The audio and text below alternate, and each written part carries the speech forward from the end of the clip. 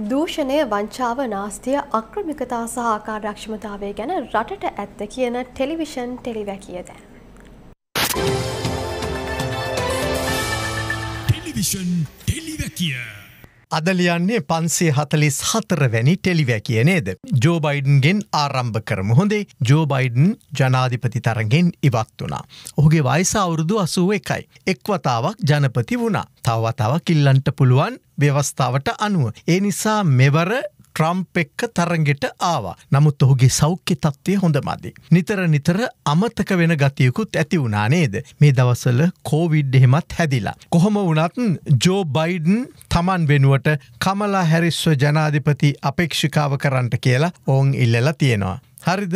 කමල ගැන වෙන දවස කලියන් නම්කෝ වයිසවුරුතු පනස් නමයයි හොඳේ ඒක විතරක් මතකතියාගන්ටකො හරිය. දැන් එමු ලංකාව දිහාට නේද? මෙහෙත් දැන් මේ දවසල හෝගාල ජනාධිපතිවරණයට සූදානම් වෙනවනේ ඇ මේ සිකුරාද වෙනකොට ජනාධිපතිවරණ දිනේ එලියට එනවා. මෙහි නම් හරිම පුදුමයි නේද.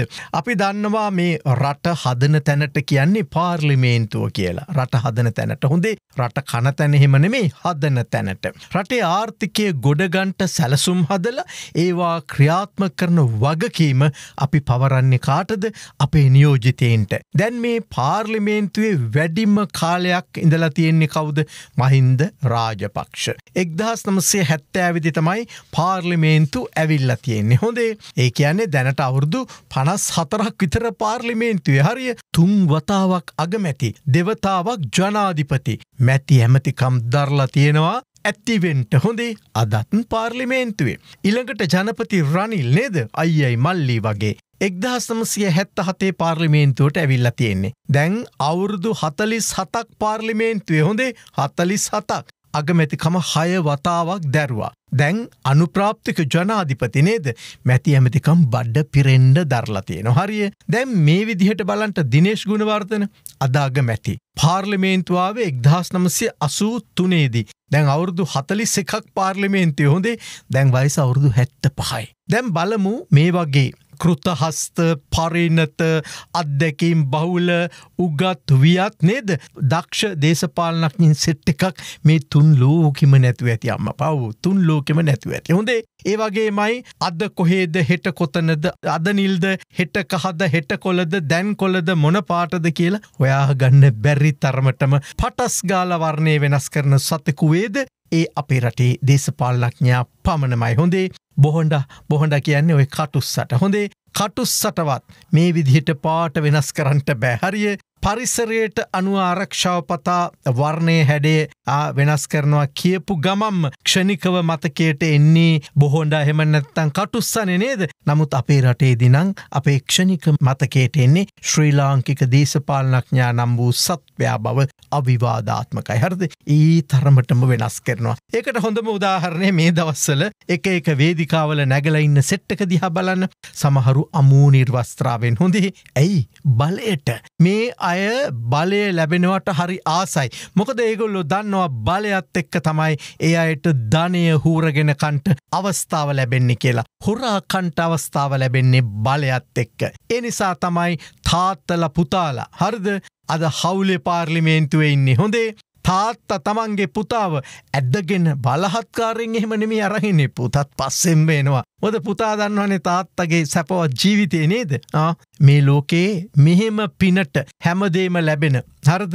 එක්කම එක ජොබ් එකයි තියෙන්නේ. මන්ත්‍රීකම මැති ඇමතිකම්. හරි අයාමුතුවෙන් කියන්ට දෙයක් නෑ. තර්ක විතර්ක නෑ ඔය ගැන. මේ විදිහට පිනට කාලා ඊට පස්සේ රටත් කාලා අපේ ජීවිතත් කාලා දැන් අහනවා අපිට මෙහෙම වුණේ ඇයි කියල හිතාගන්ට බැහැල්ලු. හරිද අපිට මෙහෙම වුණේ ඇයි කියල හිතාගන්ට බැහැල්ලු. අහන්ටෝය ජනපති රනිල් ඊය කියපු කතාව මම හැත්තෑටේ කටාවලට ගිහාම ගුවන් තොට බලත් තිබුණේ.